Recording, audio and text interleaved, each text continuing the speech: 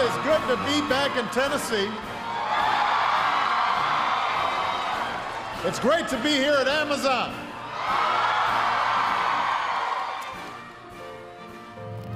Um, I like to um have fun with my family and have fun with Madison because she's the nicest sister ever because I love her so, so much.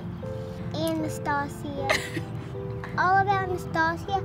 She is so pretty, nice. She lets me hug her. Both myself and my husband were unemployed. Not having a source of income is not the most ideal situation. Kids need to be kids. They don't need to worry about any type of adult problems. You know, we're doing everything that we can as parents to be able to provide for our family. Just keeping our family happy throughout that whole time was key to making it through a time like that one of our friends, she said, Amazon, she was just like, they're hiring right now, you need to go. Found this out, you know, probably about eight or so in the morning after we dropped our girls off at school. And I was like, let's go home, let's get ready, and let's go get this job. Let's go get this. And so we went in, did everything that we had to do, all of our testing and things like that, and found out our assignment actually at the end of the day.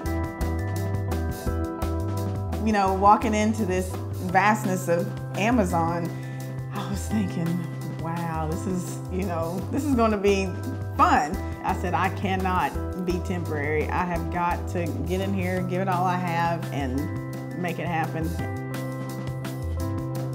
Ultimately, our daughters being able to come home and tell them our successes and there's just little milestones that we accomplished that they were tracking. You all went from temporary to, you know, Amazon and then you were ambassadors, now you're in leadership y'all are doing awesome over there. And so it just, those comments coming from your children, like I said, you just don't think they're paying attention. That really means a lot. So that means, okay, I definitely need to keep going now if they're watching everything that I'm doing so that they can see that they can do the same thing.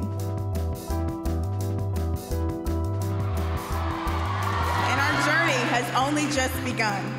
We have been accomplishing our. Well, I was just kind of randomly hearing it, you know, throughout the building. They were just like, the president's coming to Amazon. And I, was, I said, really? Amazing group of people today who actually feel a lot like part of my extended family. And I know you all are as excited as I am. Like you said, we work on nights. About one o'clock in the afternoon, I get a phone call. I was sleeping good and she woke me up out of my sleep. Hey, baby, baby, I'm about to introduce the president. I was like, what, huh? It was an invite to introduce the president.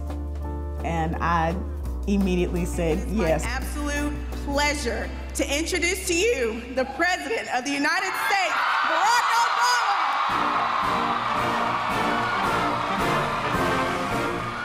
You just get stuck in that moment because you just, I mean, it's unbelievable. The whole family was there. Uh, both, all three of our kids and uh, my mom, my dad, her mom, her dad. Jobs are about more than just paying the bills. Jobs are about more than just statistics. You know, we've never just defined having a job as having a paycheck here in America. A job is, is a source of pride. It's a source of dignity. It's the, it's the way you look after your family.